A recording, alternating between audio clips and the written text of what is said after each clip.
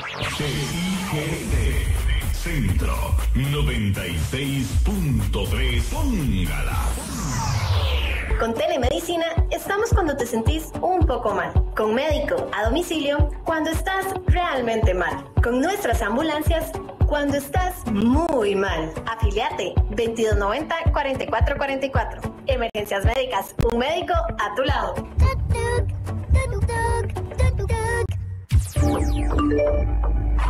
WhatsApp, programa Horizontes 83 41 41 42.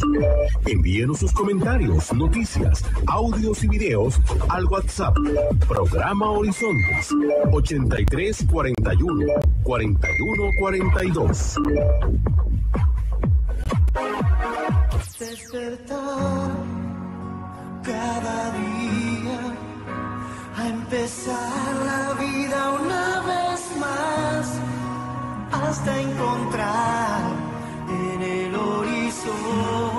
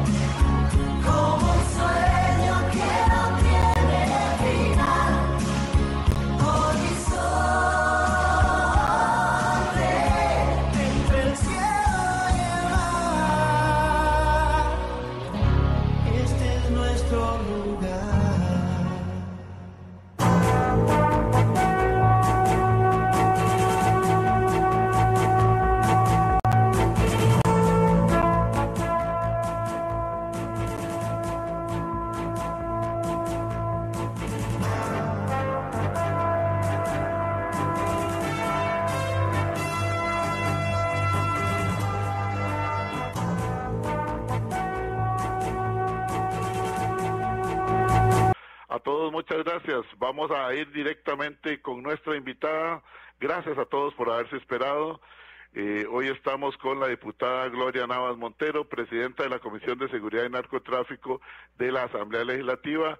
La hemos invitado porque ustedes recordarán que el día miércoles invitamos a la diputada, colega de doña Gloria, Pilar Cisneros, para que ella hablara acerca de las expectativas. Bueno, la reunión entre el presidente entre el presidente y este la señora Contralora se dio ayer después de las dos de la tarde allá en la Contraloría General de la República. Y entonces desde ese día miércoles dijimos bueno para tener pesos y contrapesos la representación oficial del gobierno, las expectativas y luego vamos a hablar con la diputada Gloria Navas para que nos ayude a hacer un análisis. Ella como, número uno, como ciudadana, como abogada, como diputada, como vicepresidenta del Congreso y como presidenta de la Comisión de Seguridad y Narcotráfico, tiene mucho que agregarnos. Doña Gloria, eh, bienvenida a Horizonte, su programa Cultura Ciudadana. Le ruego nos disculpe los problemas técnicos que hemos tenido. Eh, le hago la consulta tuvo oportunidad usted de escuchar eh, parte o toda la comparecencia del presidente eh, allá con en la reunión en la Contraloría, qué opinión le merece, sigue siendo el punto de la discordia eh, la contratación eh, por parte del gobierno como la tiene planteada para Ciudad Gobierno y de igual forma el, as- el asunto de los escáneres que el presidente dice que le ha sido detenido por parte de la Contraloría. La Contralora, de acuerdo a lo que vimos, le dice, señor, sí se puede hacer, pero no como ustedes lo están planteando. Y me llama poderosamente la atención, le hago este comentario para después no interrumpirla, me llama poderosamente la atención, no sé si será por, por el- la personalidad, por el ímpetu que tiene el señor presidente don Rodrigo Chávez, que uno hubiera esperado que este él encabezara desde luego la, la, la representación del, del oficial del- la- de la casa presidencial pero que se hiciera acompañar por personas que dominaran la ley sobre todo la ley de administración pública. Pero eh, de ahí resulta que llegaron a darle interpretaciones a mí me parece y yo creo y también el tono político desde el punto de vista de que son 30 mil eh, millones lo que se paga que es mucho dinero nadie va a decir que no pero cuando se habla de ley y que hay que cumplir la ley, lo mejor hubiera sido que se hubiera hecho acompañar por abogados y no por un economista como don Rodrigo y, este sus sus ministros que no no vi por ahí a ninguno que fuera abogado de formación. Y realmente pues este eh, de, no sé, como que uno le quedó un sinsabor de que de, yo creía que iban a hablar de la interpretación de la ley y no del enfoque político. Le escuchamos con atención y con mucho respeto, doña Gloria, aquí en Horizontes, su programa de Cultura Ciudadana. Muchas gracias, buenos días, don Edgar, y a todas las personas que nos escuchan y participan de este programa en la cual siempre les reitero que me encanta estar en, en estas entrevistas y sobre todo el que la ciudadanía pueda participar y sin ninguna presión y según los pensamientos que cada una en forma libre tenga. Sí, escuché muy bien el, eh, la entrevista entre la Contralora, su equipo y el Poder Ejecutivo y su equipo. En primer lugar, sí, don Edgar, tengo que estar de acuerdo con usted en lo que indica que le extraña que no hubieran sido acompañados por un equipo de asesoría legal, porque el tema de la contratación administrativa, la diferencia entre lo que hay entre el derecho público y el derecho privado, el manejo de los bienes públicos, el manejo de los bienes privados, son temas eh, fundamentales el hacer las distinciones de carácter jurídico y por supuesto sin una asesoría legal debida, lo que se hace es batear, ¿verdad? Batear conforme a las leyes, con las interpretaciones. Y entonces me parece a mí que la gente tiene que entender que la reunión giró alrededor de esos dos proyectos, pero eh, me parece que el señor presidente escogió más bien la ruta de un debate político y no de un debate jurídico, como correspondía ante dos proyectos de carácter esencial, como es la ciudad gobierno y el tema de los escáneres. Eh, para mí, la presidencia evidenció una plaqueta jurídica muy evidente y también de los propios asesores, dicho esto con todo respeto, puesto que no son los especialistas en esta materia. En cambio, doña Marta andaba con todo ese equipo de gente que son los que saben que conocen exactamente cuál es la labor de la Contraloría, su labor de fiscalización y todo el seguimiento que tiene que hacer en estas materias, que es muy delicado.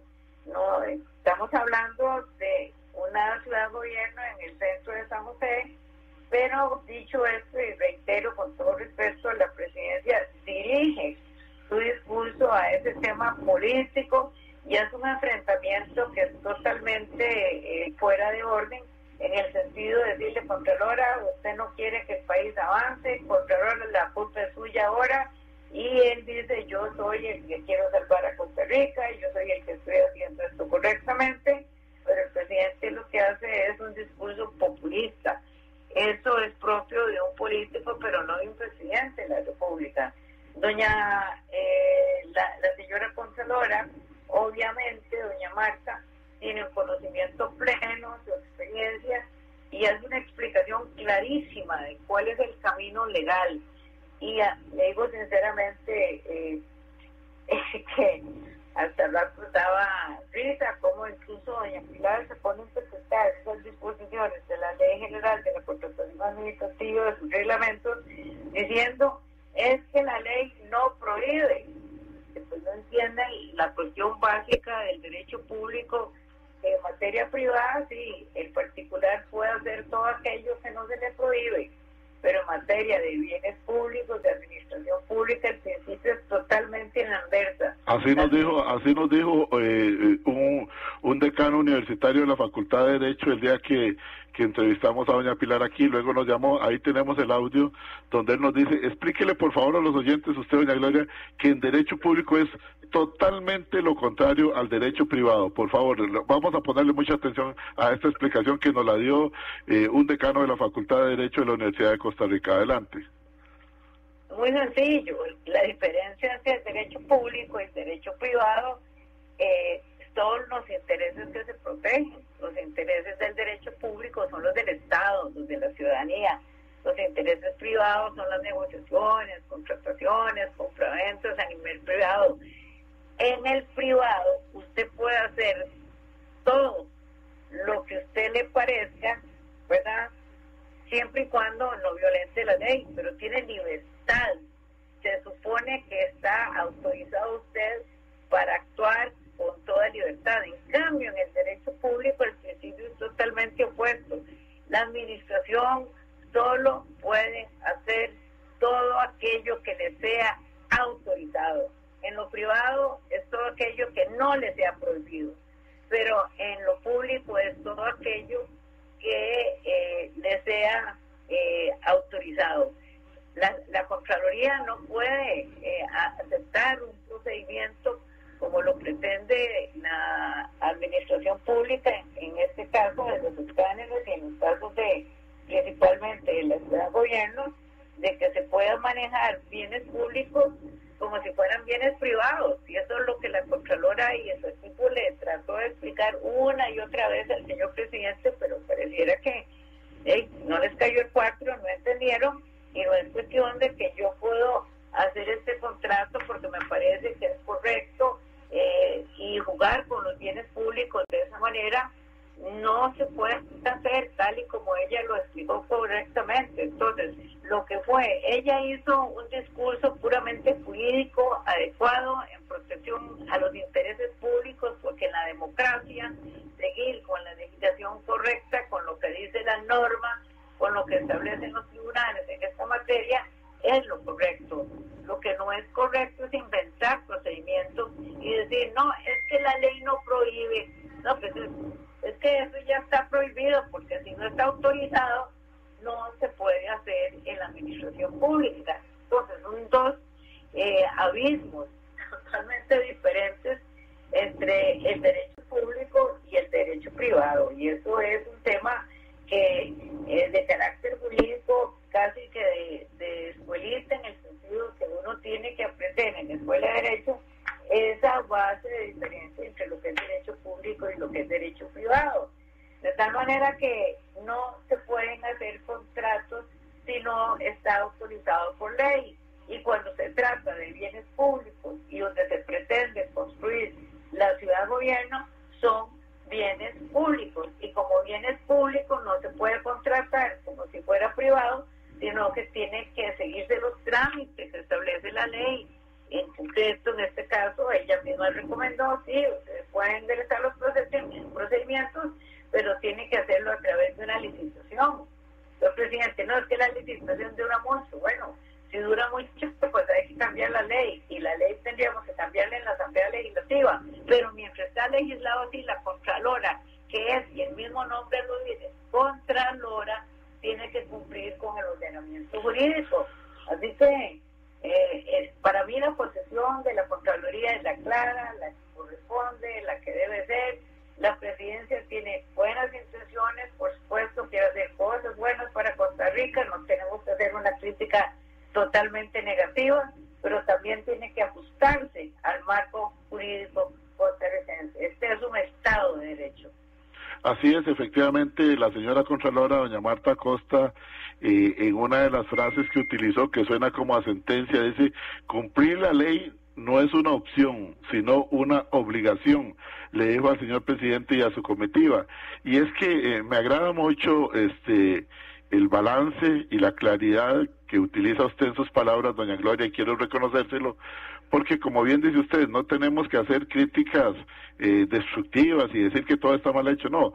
La intención puede ser la mejor y yo creo que la mayoría de los ciudadanos estaríamos de acuerdo. Eso es como cuando uno alquila casa y, decide en algún momento, bueno, me voy a echar la deuda, pero ya dejo de pagar casa y eso va a ser mío en algún momento.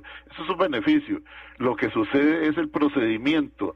Eh, de hecho, su colega, el doctor Walter Hernández Juárez, en, la, en, la, en el acompañamiento que nos dio doña Pilar el día miércoles, eh, dijo y reiteró una vez más esa diferencia entre el derecho público y el derecho privado y este, él le ofreció públicamente.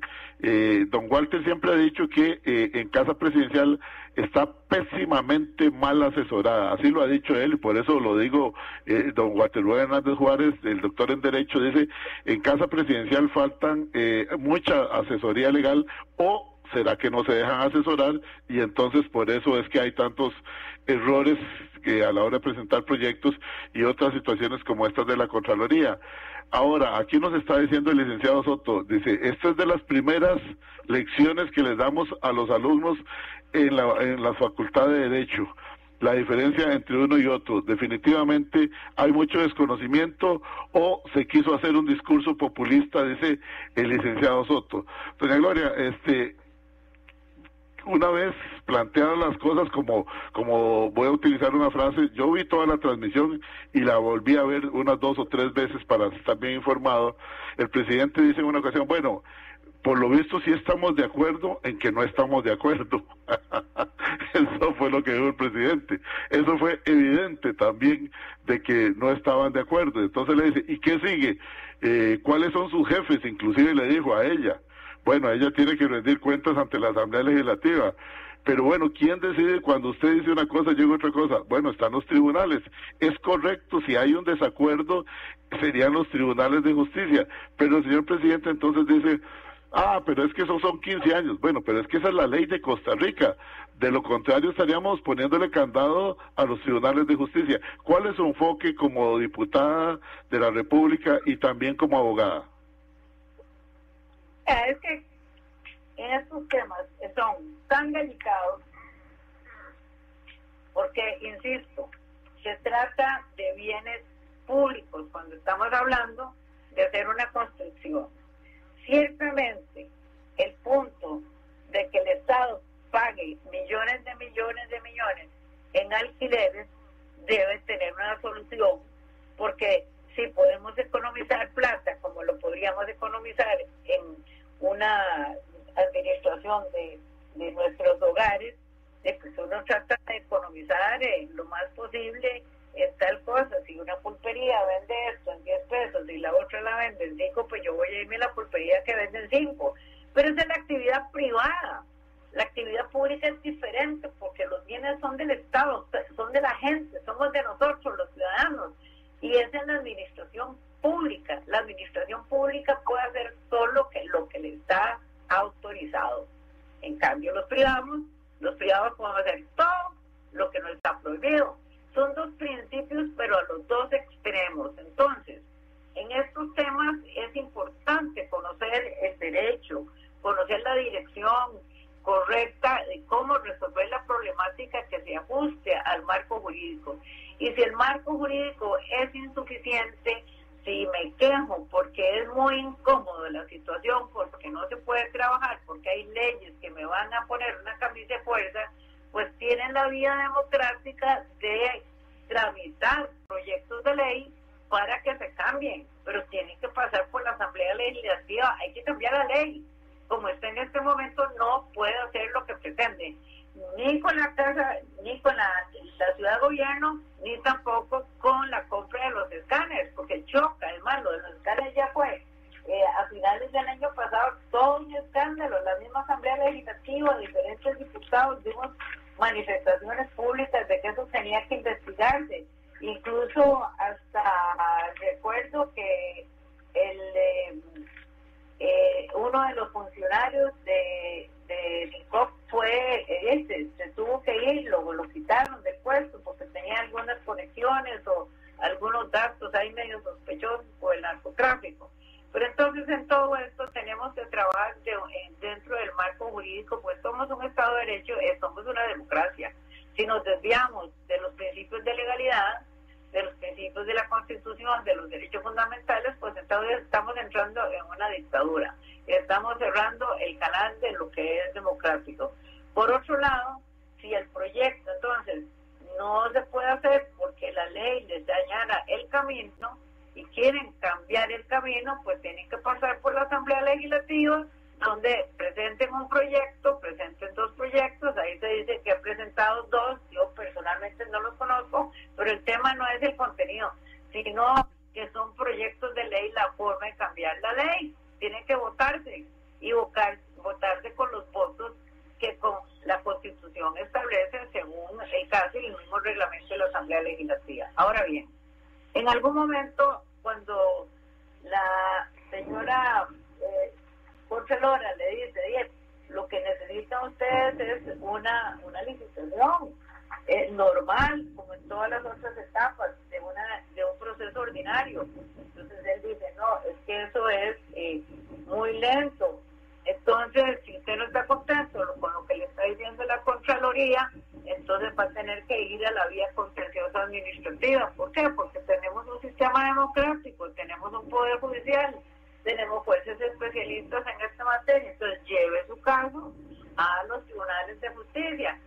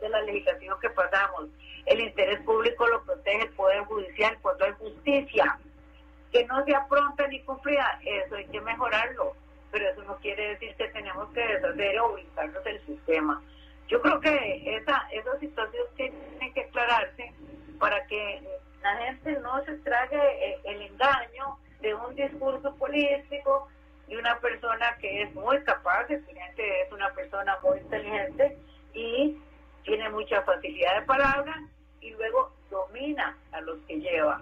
Todos se sientan ahí, están ahí calladitos como perritos obedientes y le dice, ¿usted qué le parece? Y le hace la pregunta, pero le, le, le sugiere la respuesta. Para Sí, claro, que- claro.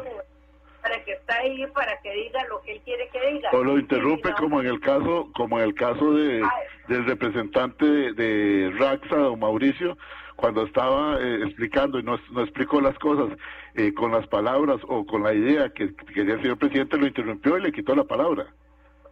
Fue evidente eso. Estaba él dando una explicación que iba en la línea correcta, aclarando, y entonces el presidente ya no lo buscó, hasta lo interrumpe y lo calla. Sí, yo me imagino que don Mauricio salió de ahí despidiéndose de sus compañeros, pensando que por, por no haber complacido al señor presidente ya iba a quedarse sin empleo.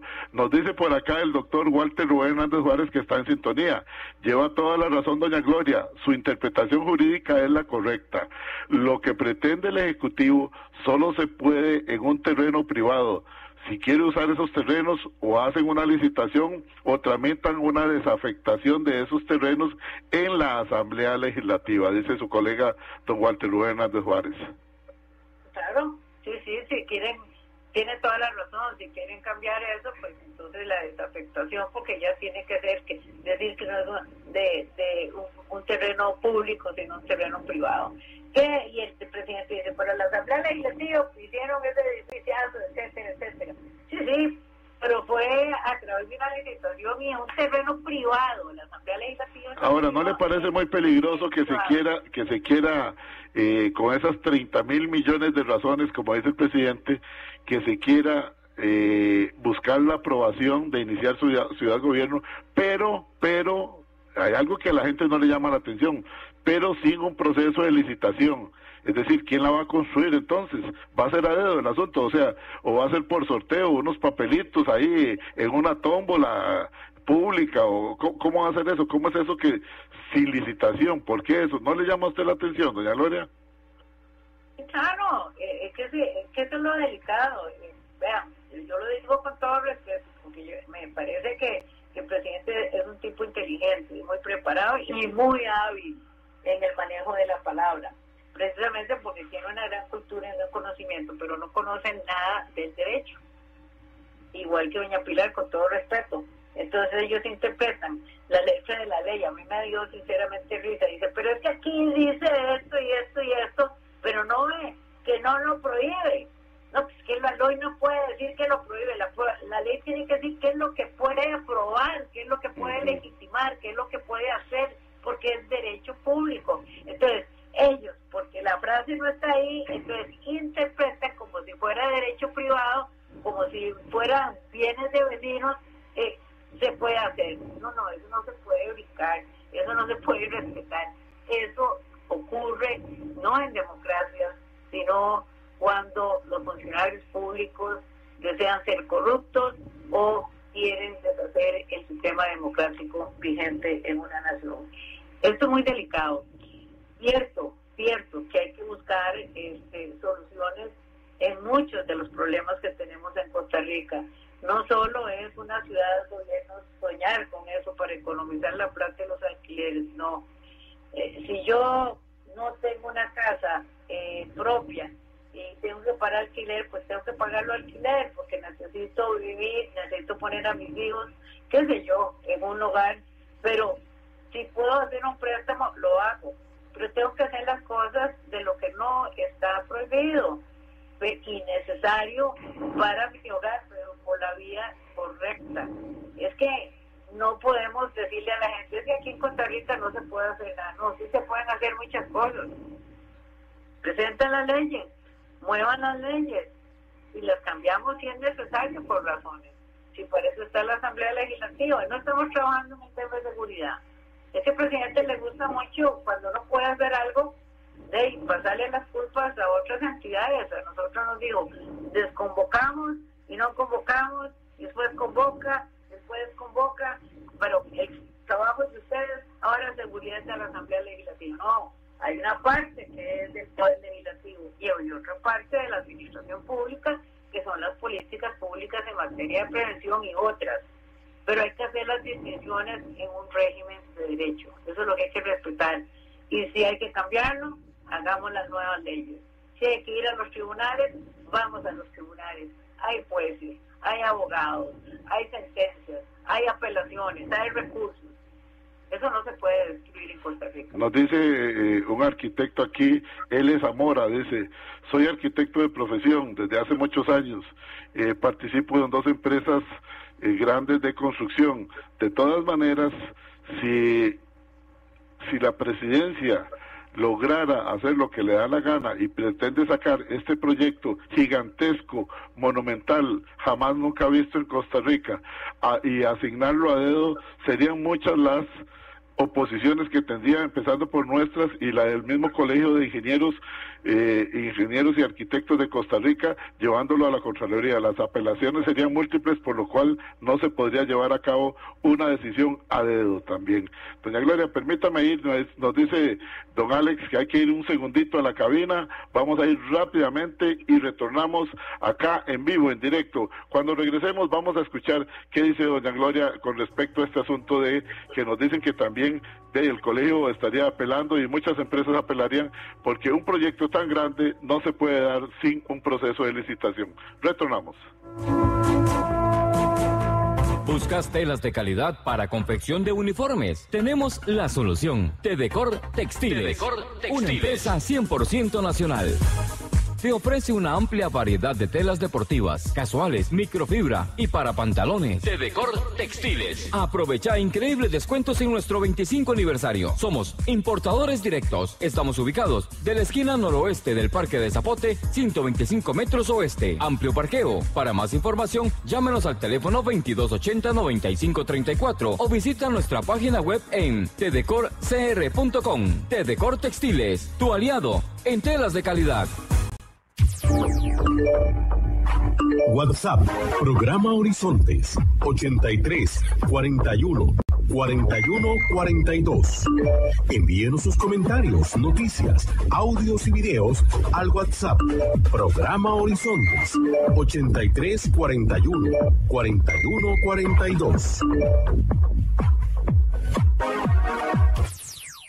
Con telemedicina estamos cuando te sentís un poco mal. Con médico a domicilio cuando estás realmente mal. Con nuestras ambulancias cuando estás muy mal. Afiliate 2290-4444. Emergencias médicas. Un médico a tu lado. Retornamos,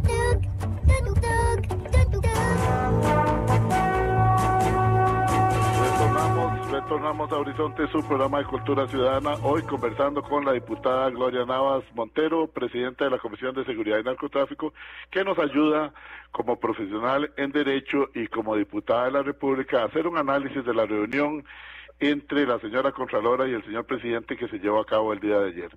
Doña Gloria, un comentario con referencia a esto que decía un arquitecto él es Zamora que nos manda un comentario y dice, bueno, ¿y quién sería el beneficiado? ¿Quién sería el dichoso que le van a otorgar esto a dedo? ¿Cómo sería a dedo sin licitación?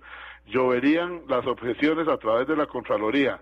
Eh, ¿Cuál es su punto de vista al respecto? Porque esto sería peligrosísimo también, aunque ya sabemos que, que, que si no es mediante la ley no va a llegar, pero en el supuesto lo que quisiera el presidente de también asignarlo a dedo sería peligrosísimo. Bueno, es que esa es la puerta de entrada a la corrupción, esa es la puerta de entrada a la comisión de delitos. Eh, aquí eh, tenemos un marco jurídico que tenemos que respetar, punto. Ya usted lo, lo señaló en forma muy sencilla. Pero eh, la Contralora le da una explicación eh, muy clara en cuanto a la importancia del trabajo que tiene esa institución y también durante el tema de la reunión con el presidente señala de que hay que cambiar esto y de prácticamente lo que está diciendo ella, tenemos que brincar la ley para hacer ese proyecto. Entonces, ¿qué es lo que podría pasar? Por eso el arquitecto tiene toda la razón.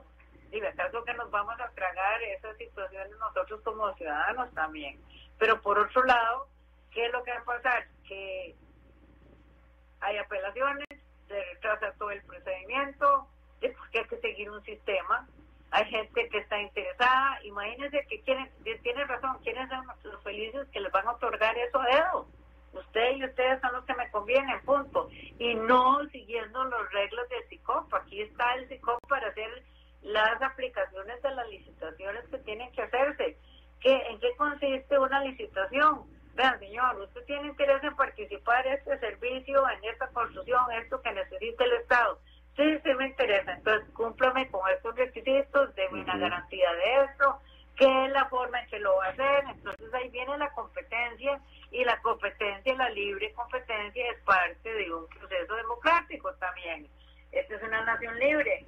Entonces, se abren las puertas de lo que es irregular, se abren las puertas de lo que es corrupción. Entonces, por eso la misma Contralora en algún momento, en algunos de los documentos, donde les advierten que están siguiendo normativa totalmente eh, mal interpretada o un camino errado, les advierte incluso que puede haber responsabilidades penales. ¿Por qué? Porque la ley lo dice. En el caso del ejercicio de una función pública, puede haber eh, responsabilidades penales en el trabajo. No solo sanciones de, de tipo administrativo, sino sanciones penales cuando se violenta la ley.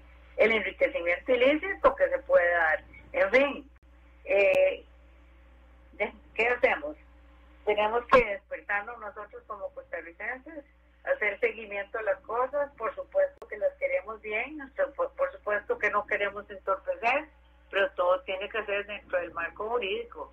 Tenemos que respetar las libertades, la libre competencia y todos los demás principios que existen a esos niveles. Definitivamente así es, el derecho eh, es importantísimo en una sociedad civilizada y bien reglada para, para tener la, la convivencia en paz y como tiene que ser. Eh, tenemos muchísimos comentarios, realmente no voy a poder leerlos todos. Por ejemplo, el ingeniero Roy Romero nos dice, yo también soy ingeniero, pero tengo claro que si queremos cambiar las leyes hay que ir a la Asamblea Legislativa. Sin embargo, el nivel politiquero es tan grande que este tipo de cambios no avanzan rápido.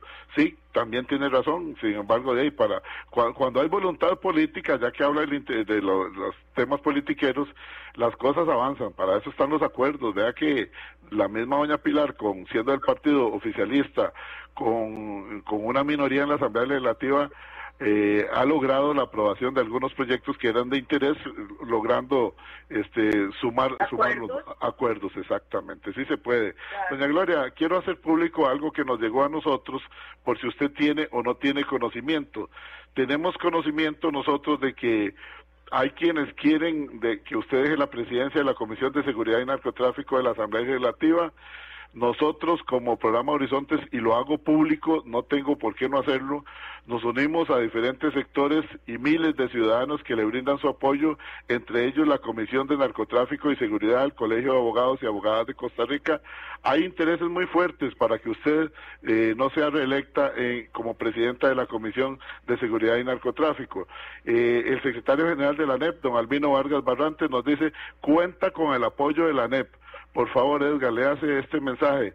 Eh, la señora Gloria Navas ha hecho una excelente labor y continúa siendo eh, una persona que está dándolo todo por Costa Rica desde la Comisión de Seguridad y Narcotráfico de la Legislativa. Cuenta con el apoyo de la ANEP, siga adelante, le deseamos lo mejor y tiene todo nuestro respaldo.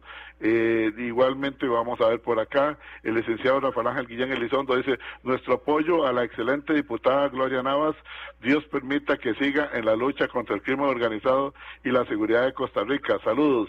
El exministro de Seguridad, don Gustavo Mata, dice, por favor, denle mis saludos y mi- mis respetos a doña Gloria Navas, que lo está dando todo por Costa Rica, como bien acaban de decir ustedes.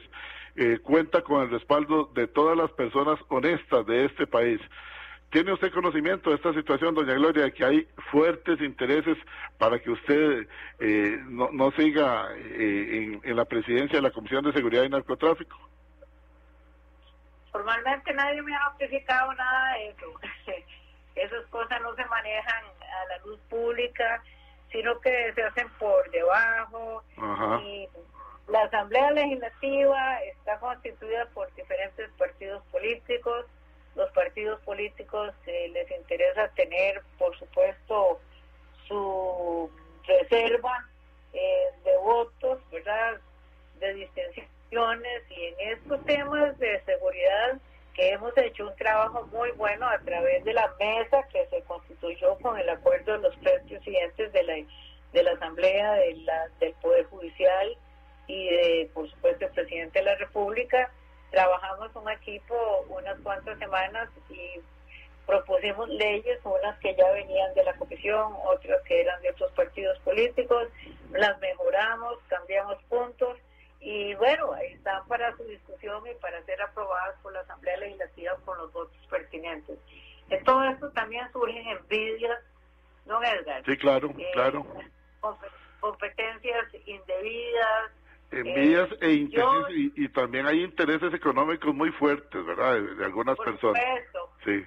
por supuesto. A mí no me sorprende nada de eso, de que pueda pasar en un órgano.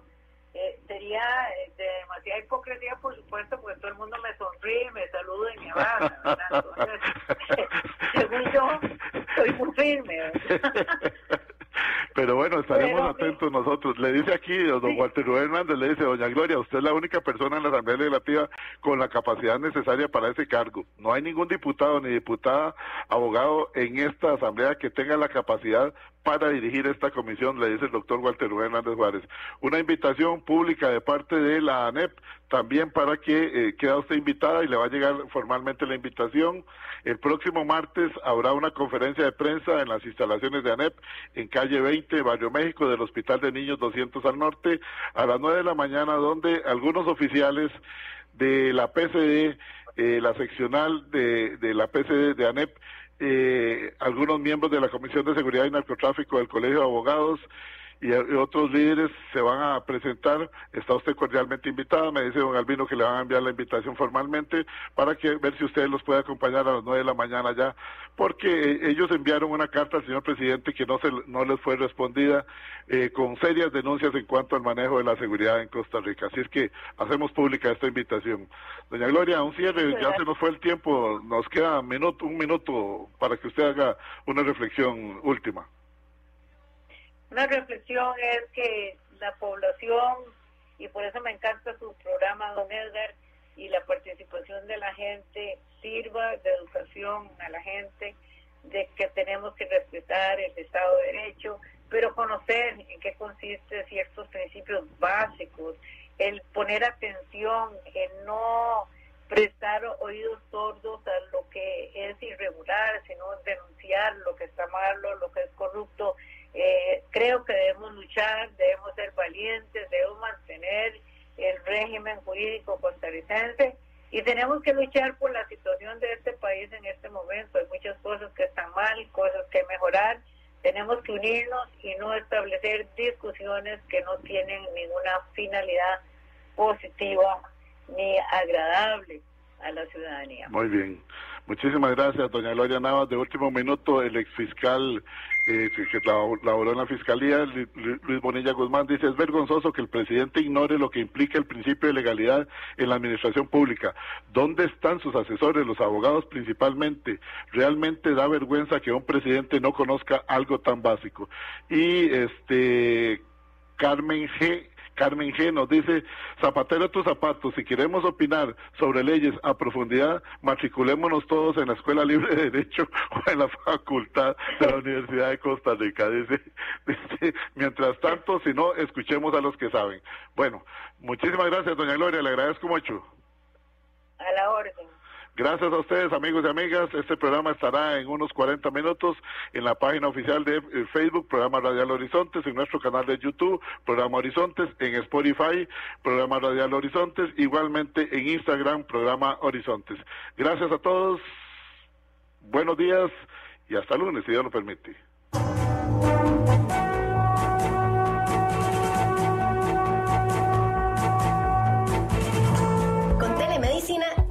Cuando te sentís un poco mal. Con médico a domicilio cuando estás realmente mal. Con nuestras ambulancias cuando estás muy mal. Afiliate 2290-4444. Emergencias médicas. Un médico a tu lado.